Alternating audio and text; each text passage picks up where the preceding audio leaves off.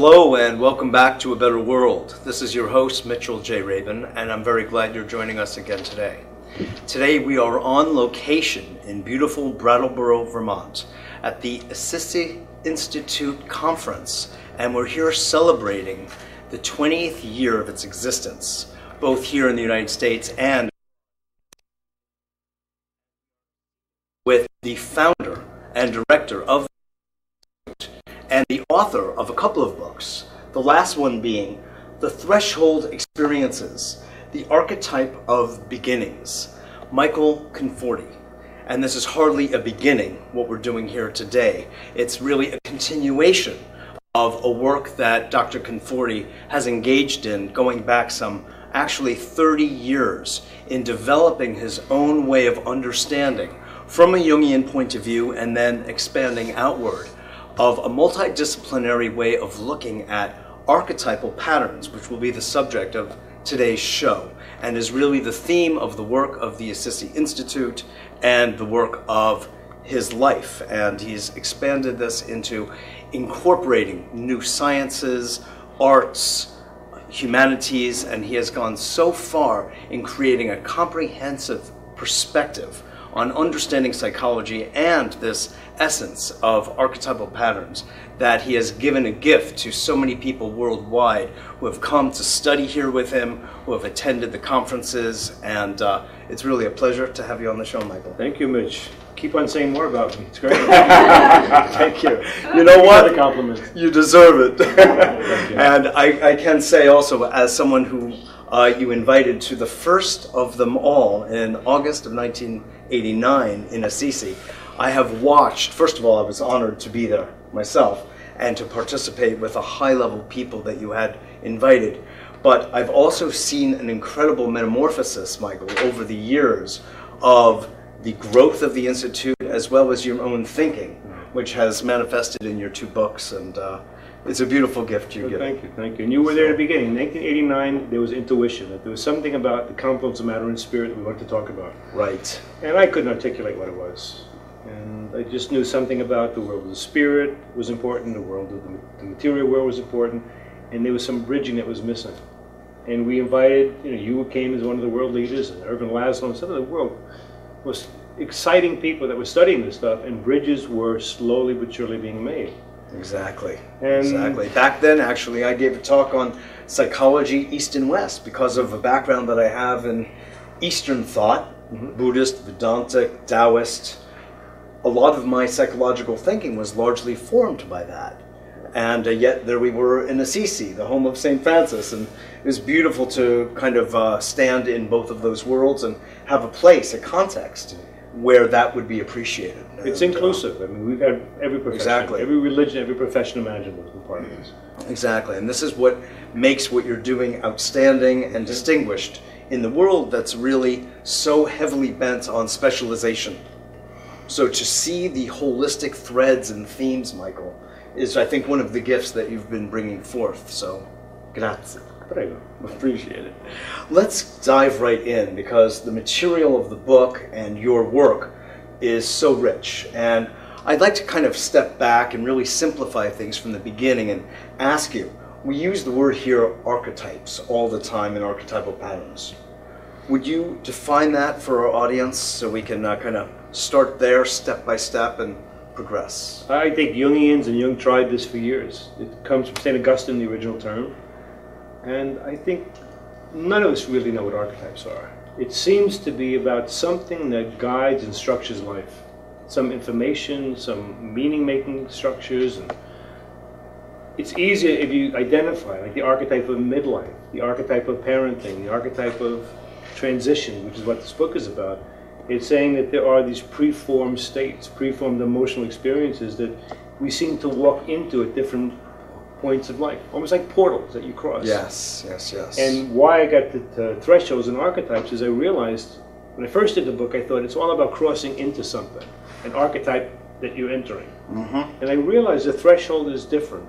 You have an archetypal field that you're in, say before you're enter midlife. You're in your 30s and 40s. That's one whole archetypal world. things we do, the proclivities, the activities we engage in, they're pretty well universal that we do at the early parts of our life. You suddenly enter this new phase of life, midlife, something comes over you. And so you literally cross over a threshold from this state, and you realize something is presenting these thoughts and emotions and experiences that they seem to come out of nowhere. But then you realize they're so similar to what people have dealt with since the beginning of time when they entered the second half of life. So what we see then is that there is a, um, a cross-cultural reality Yeah. to this notion of archetypes, and they're time stage related. And is it possible for one to be living, let's say, two or three multiple archetypes at the same time? Yeah, that's a tough one. I mean, we've always had astrologers come to our program. It's supposed to be tough. Yeah, well, you're good. You know, It- and astrologers would say, you know, when you talk about these archetypes that are constellated, it's much like the constellation of astrological configurations. Mm-hmm. And while there are many different possibilities Aspects, or aspects, it seems that a person has a dominant, a dominant configuration. Right. You've always said that my mine was puer aeternus, Michael. I wouldn't say public. you have. we, it's something we share. You've said a lot of things about me too. So yeah, I mean, Bad Jungian humor, you know. But I, I think each person has a dominant archetypal field of theirs. Yes. So even when you move through different stages, maybe you move through the earliest stages of your life, you move into career, you move into parenting, there's still a certain flavoring that influences how we do this. Yes. So in a sense, you've got uh, a, a dominant archetype that, let's say, someone is in a sense born into, and I would have to say, since a lot of my thinking is biological in nature and understanding the myth. Actually, I so appreciated Dennis Slattery here this uh, this past week, who brought forth the understanding of the relationship of biology to mythology. That there, it's really one and the same conversation, if you will, or narrative. So, from that point of view, bringing and invoking the idea of biology here, it's almost like we're born into a certain morphogenetic type. Would you say? I mean, according to Jung's ideas of typology, that would be interfacing with archetype in some interesting way. It's very, again, it's complicated because I, yes, I think we're born with certain dispositions, certain Yeah. astrological dispositions, morphological, whatever. But then these other stages of life that we, we carry this piece with us. Mm-hmm. We enter these other stages, we cross the threshold, and the information from this other world seems to begin to influence us so much, it seems to take over. So even though we may have this particular tendency to do things a certain, you mentioned puer or whatever, you enter midlife, I think that becomes more dominant in your life at that point, and it seems to override. So there may be a, a Uh-huh. tendency to in, to drive this way, but you're still driving in this particular domain Yes. that has preformed figures to it. Look, you you think about midlife, it means half your life is over, half your life is to be lived yet. Every culture, every myth is known about this. There are songs written about this, fairy tales written about it Surely. that teach us.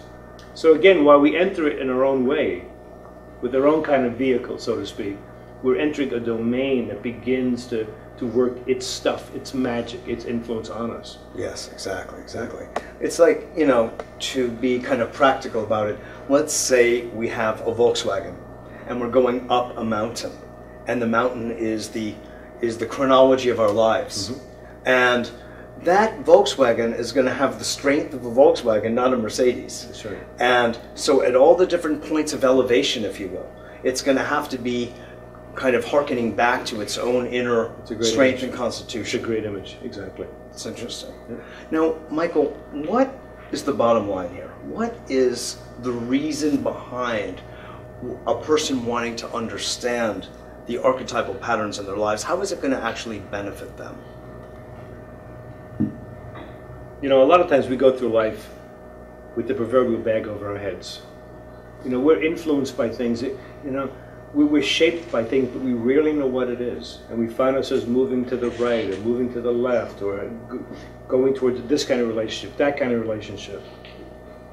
And so much of what creates trouble in our lives, both individually, on a communal level, and globally, is the fact that we don't take the time to to show reverence for these shapers, number one. Mm-hmm. The second thing is that we don't take the time to try to understand what's what's the message in this for us, and we just act it out.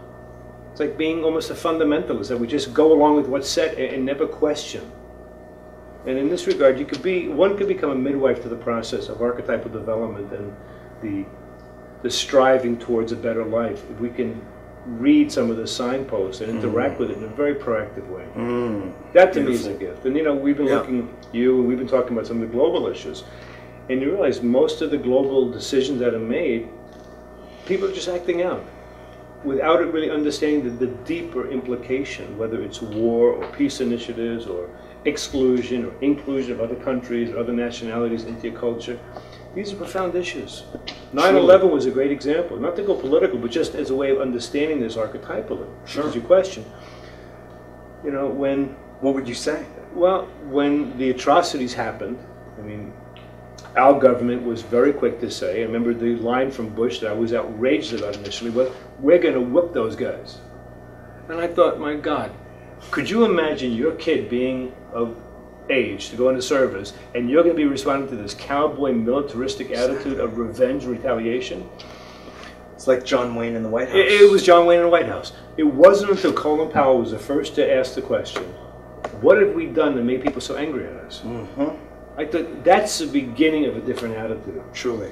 It's what one of the great philosophers, Erich Neumann, called the new ethic. The old ethic is we just act out and we, we retaliate and revenge, and instead of reflecting on what is the meaning of this. you know? Exactly. There's no Exactly. innocence in this case. This is not a terrible young child being abused by someone. This is there. We've been a player. It's interesting, to, since you brought this up, Michael, to look at we as a people who stand behind a government and therefore also a president. What is the meaning of it to, about us as a people, as an identity, as an archetype, and what were we generating in this situation? I, I I don't have an answer No, to no, that. no. When when when Obama began running and he was elected, I could tell you from a factual point of view, I had more patients had more dreams of Obama than I've seen dreams of presidents in the past eight years. This was so significant. Mm-hmm. Now I could comment on it for a few reasons. Please. Psychologically, what does the president represent? The president is the ruler of a country. Translating that psychologically, it means this is the ruling power of the conscious mind. So you take somebody, again, you don't want to say too much politically, but the fact that our country had elected Bush says a lot about where we were psychologically as a nation. That we endorsed this position of the militaristic revenge. Mm-hmm. It was also the story of the father's son. I mean, Bush is a proverbial Truly. weak son of a, of a not so strong father. And I'll tell you, by the way, I made a prediction, and it, I went public with this many years ago. Mm-hmm. When he first ran, the initial thing, I predicted if he ever got elected, he would draw us into war immediately to prove he was a potent male. Yes. Excellent. And it was. Really So intelligent observation. Oh, thanks. Was- I was reading a pattern. It was Yeah, I do every exactly. So where we are right now, I mean, when you look at all the emotion generated around Obama with the inauguration, all that, why were so many thousand people crying? Mhm. It was hope. That's right. And again, you see, I try That to had been suppressed for so long. yeah, totally. And So it what- came out with even greater fervor. Oh, people were starving. It was like Yeah. starving in a desert for how long? Exactly, exactly. For somebody that can address issues in a meaningful way. But again, you're asking a bigger question, Mitch, which is Yeah. what does it mean? It means that we're at a point collectively that this we've allowed something brand new to enter our system. Something that has more intelligence and more wisdom and more thoughtfulness. Also the fact that, you know, that he's a minority. That's huge that we're allowing the minority position to become to come part of the ruling class for us. The symbolic is powerful here as combination of black and white Exactly. coming together, the confluence, if you will, Yeah. of a few different things, you know. But you made a very telling point just now, Michael, having to do with the recognition of an archetypal pattern, which goes back to the first question I was really asking. What's the point of studying archetypes and patterns? But you just gave a very good answer, which is that by recognizing these kinds of patterns and having a mind that sees in this perspective, you were able to predict the kind of behavior that would that would follow from, let's say, in this case, uh, G.W. Bush being elected president. So that has powerful implications for us generally, both locally for a patient in the analysis room, as well as on other macro levels of our of our existence, including globally. You know, unfortunately, prediction has become sort of one of the bad P words, like other uh, terrible things we don't want to ever say. But when you get into a pattern, what you're really having is, is a, there's a certain code. Patterns are constrained by the information they seek to express. That's one way of saying it. Mm-hmm. In that regard, when you have an outcropping of, of certain pieces of a pattern, you could have maybe three notes of a scale and say, well, most likely we're dealing with a major or minor here. Mm-hmm. And it's likely it's going to go in this direction. You can say, in the future of this pattern, it's probably going to go here. You can be proactive. And it's not rocket science. This is what a lot. Back, Alvin Toffler wrote, I think in the 70s or 60s, I Future. Shock. Right. He was a panel reader. And what's interesting is I've now done this in the movie industry, I've done it in organizations, where you go in and you see where the system is at right now. Or you mentioned therapy, which is my one of my greatest loves. You know, I've been an analyst now, Sure. therapist 30 years. That you see somebody's behavior and you say, if you're here today doing whatever, you were probably were here yesterday, and probably a a couple of days before yesterday, and it's likely it's probably going to go to tomorrow in the future because there's a contiguous line, and a lot of what I've been studying is not just the idea of patterns, but what is it that holds behavior into these seemingly fixed orbits Right. that have trouble changing. Yes. And this is the first book is all about that. This Right. book is more about the change process. Yes, exactly. Here you use the um, initial meeting of a therapist and a client, in a sense, as a metaphor for all that can follow, and as the container in which a tremendous amount of information flows, which, in a sense, presets Yeah. What is to follow. Exactly. Anything more you want to say? Yeah, because yeah, what happens in the initial conditions is whatever the the behavior of a system or individual is. Say in first session psychotherapy, what got me was, and this is going back 25 years, working with a wonderful mentor named uh, Dr. Robert Langs, a brilliant man who you know. Who you introduced me Yep. to many years ago. He would look at the initial conditions, and what we began to see was that whatever issue the patient had in their life somehow became enacted with the therapist. I then wanted to see, see, to me, I thought that was just almost uncanny that no matter what I brought to it, I would found the, the system would find a way to reinvent itself, to Uh-huh. kind of re Reenact. reenact itself exactly Mhm. by me becoming a, a player in this re- uh, repetition of something. And then I went to study, say, what is it about these repetitions? And I realized, well, God, what's going on is in the first meetings, the threshold experience, the whole history Yes. is suddenly present. We don't have to go back to the, the past and do archaeology for this. It's right there. It's right in front of you. If you could begin to look at the interaction as being the model. So it's like coming from in here, but not only from the patient, it's also drawing on the therapist. And the therapist inadvertently becomes part and parcel Right. of this reenactment. part of the system. Exactly, exactly. You know, basically, what we see is in a lot of the new sciences these days, one of the words that has shown up largely is this notion of fractality.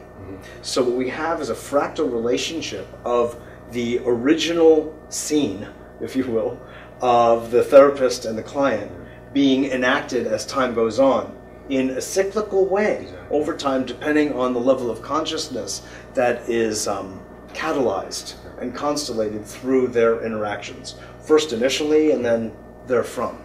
And it, it reminds me of uh, going back to kind of a biology metaphor of inception, the beginning, the zygote. Inside that is the whole story. So, in a sense, that original meeting of the therapist, if you will, it may sound funny, is in a way um, a recapitulation in some way of our biological natures it's in a psychological way being fleshed out. Two Do you know? Yeah, I know exactly. When I wrote the new introduction to this book, I really struggled. I did like three versions of the introduction. First one uh, didn't work, second one didn't work, and the third one did like 30, 40 pages. It just flowed. And Mm. I realized you know, Uh huh. that in doing the study of initial conditions, I was able to look into the inception of life itself. Because you're right. Yeah. What happened in the initial interview is the same kind of things that happen in the beginning of life itself. Mm-hmm. And you know, I, I thought this was just going to be a very simple, relatively simple, straightforward study of what happened with the patient therapist. Yes. But when you get into biology and systems, you realize, my God, this is the inception of life itself in front of you. Exactly. I mean, so interesting. So it's everything is an unfolding from that. We just keep Yeah. seeing our life as a, a form of repetitive pattern. But you also raise a very important question that comes up for all therapists and for all people. And that is what are the elements and the component parts of change? You know, what are they? What is it that will take um, a pattern that has been in place, a personality pattern, an obsession, compulsion, what have you? It doesn't have to be pathologically set. And there's a certain, you could say, a neurocircuitry that accompanies it. And what is it that can help happen in a dynamic between, in this case, you as analyst and a client that's going to shift that so that the patient ultimately is going to be what do we want the outcome to be? Happiness, joy, It's not bad. balance, love, you know, prosperity. What no, what what are those elements, Michael? How would you uh, address that? well, number I know one- it's a broad but and a difficult question, but you're qualified for answering it. Well, Number one, I think what happens in therapy most times is that we seek to just change the behavior. We change the pattern. See, that's not good. It's not generative. Like mechanically. Mechanically, you're drinking, you're drugging, you're whatever it might be, and we find different ways to stop it. Yes. And on one hand, that's wonderful because you know th- these things do destroy individuals and families. hmm Absolutely. Where Behavior modification that can be done, and it works. there are ways to do it. Yeah. However, it doesn't get to the core issue. Like, you know, Jung was one of the first to even talk about the dynamics behind alcoholism. And he realized that, you know, alcohol and the spirits have been part of communal life since the beginning of time. We've always had some spirit in a bottle. We've had some alcohol. Truly. We've had some drug. And he believed that even underneath addiction is a certain spiritual issue. Mm-hmm. Now, simply put, Sure. Any any addiction is an addiction to something. That's silly that way to put it.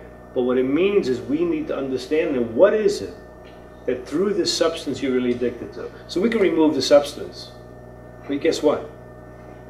The drum is still alive. replacement, exactly. Huh. All the energy that drove the person toward that one in the first place still will still be in place, perhaps toward another.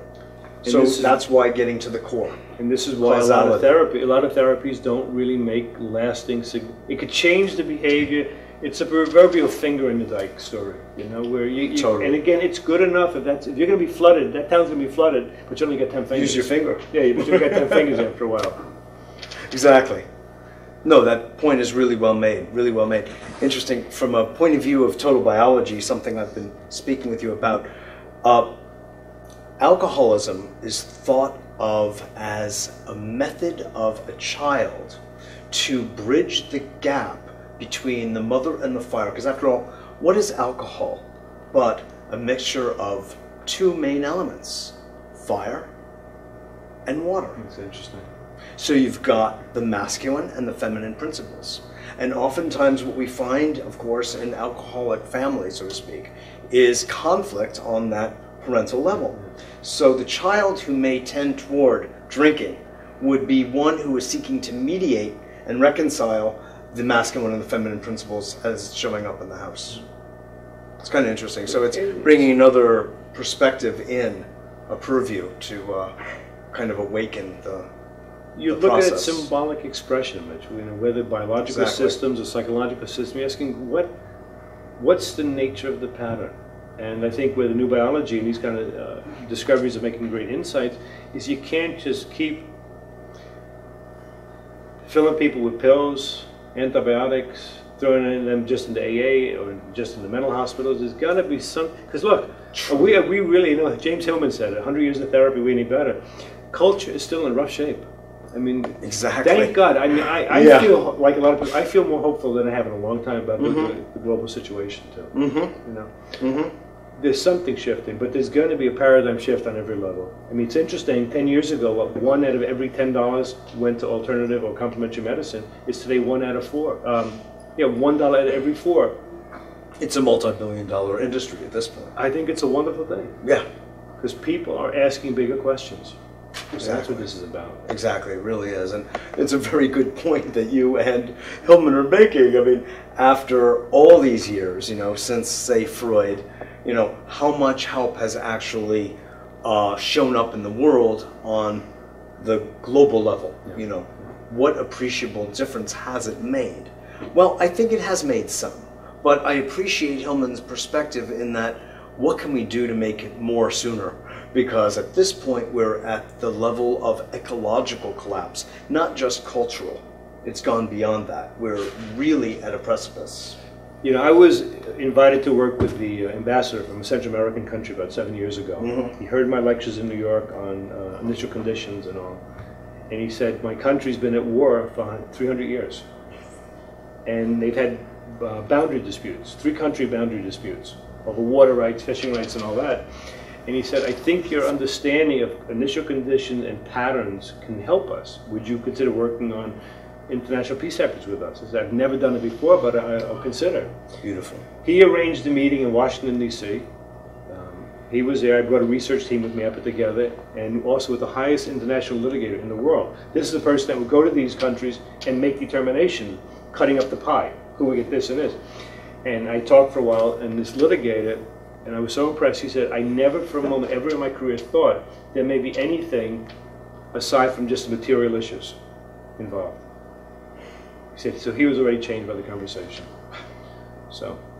I'm changed by this conversation. Uh, me too. Thanks, Mitch. It's always a Absolutely. pleasure working with you. So great, Michael. Thank you for your great work. And I just pray that you continue it with the same uh, vivace and power that you have until Thank now. you. Thank you very much. Absolutely.